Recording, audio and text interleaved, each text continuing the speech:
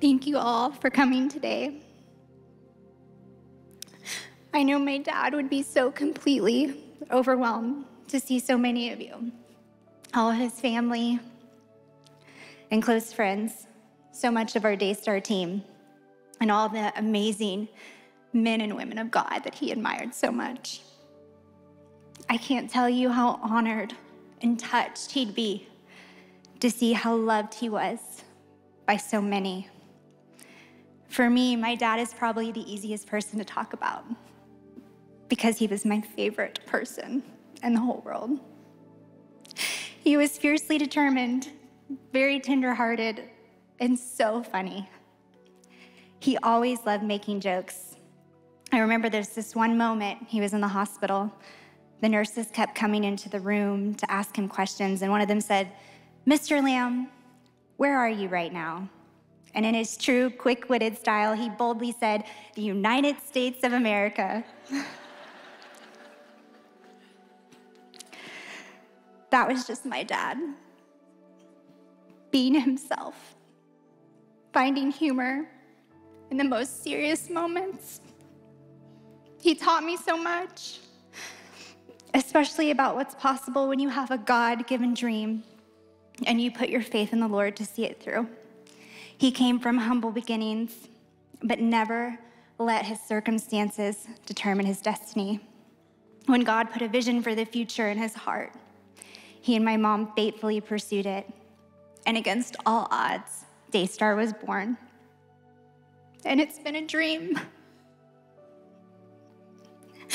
come true to work with my dad.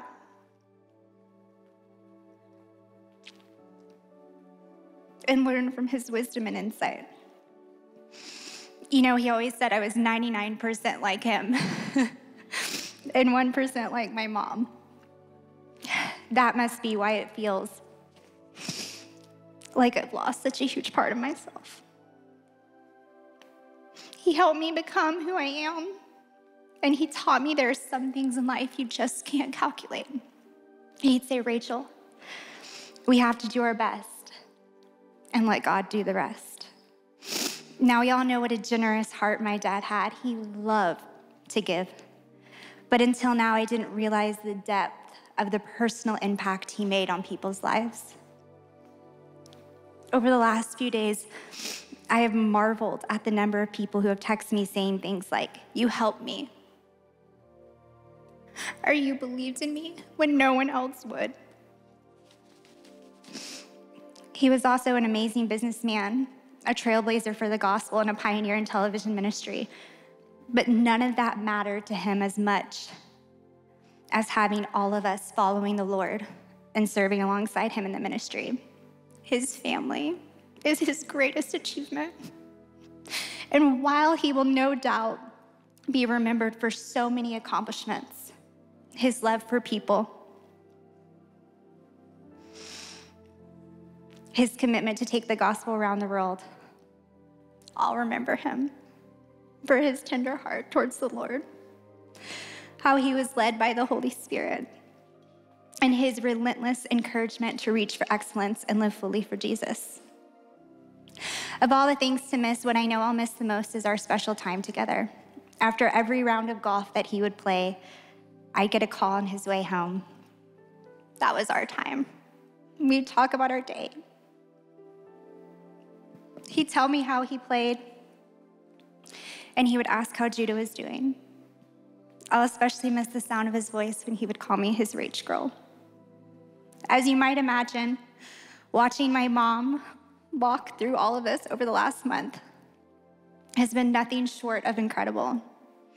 I've never seen such strength and love and devotion. I'm so proud of you, Mom to see you take up the mantle of leadership in the face of such loss, and to watch your passion for people only go stronger. I'm in awe. We are all standing with you, and we will be right by your side in the days to come.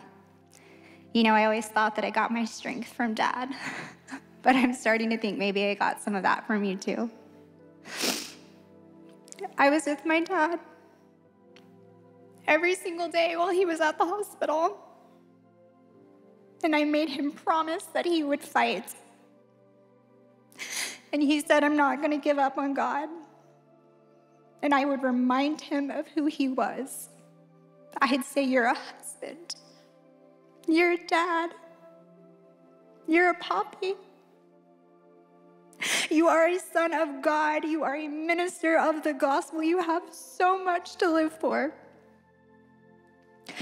And as he neared the end, he said, I know that God is with me, but he is healing me, and I will declare the works of the Lord.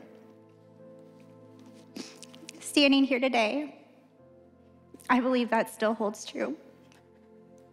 God did heal my dad and he will declare the works of the Lord as his legacy speaks through the life of his children and his grandchildren.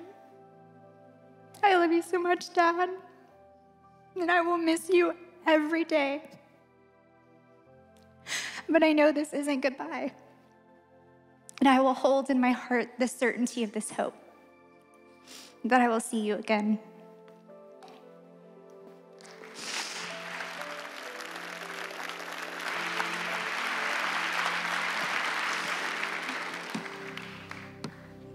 Wow. Um, what do you say after you hear your wife just pour out a heart like that? It's um, incredible. Thank you, Holy Spirit. Marcus Lamb loved God, he loved his family, and he had such a great big heart for the world to reach as many people as possible with the good news of Jesus. And you know, he studied the Word of God like no one I've ever met before. When I first joined the family all those years ago, I was told that uh, he had memorized over 7,000 Bible verses. And uh, I got to tell you, I kind of found that a little hard to wrap my mind around that. I was thinking, 7,000 Bible verses? That's a lot. But over the years, every single time I was with him, he would quote some sort of scripture to me. He lived what he preached, and uh, I saw that firsthand. Typically, so I've heard, uh, in laws, well, you know, in laws, right? I see a few people wiggling in their seats. you know, I just loved being around Marcus.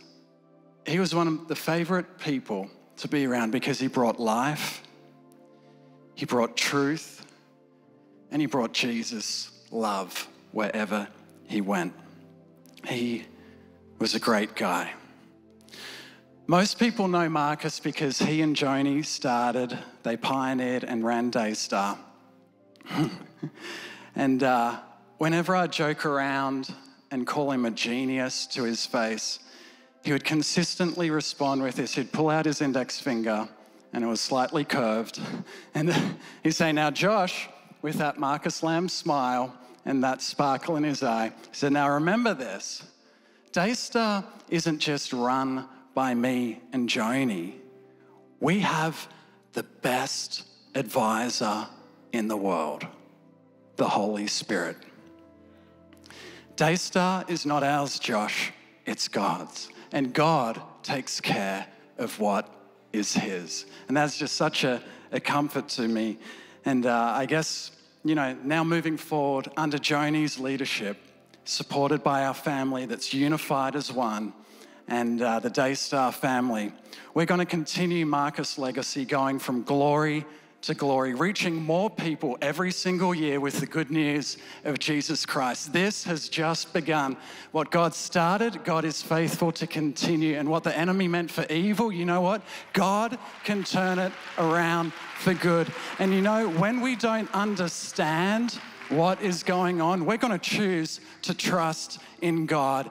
Even in our sorrow and our grief, we're going to declare the goodness of God because that's what Marcus taught us, and we're going to continue moving forward. And Jesus, God, I just want to thank you for the champion of faith that Marcus is. He's your servant, your son, his Joni's husband. He's our father and he's our father in law. He's our children's poppy.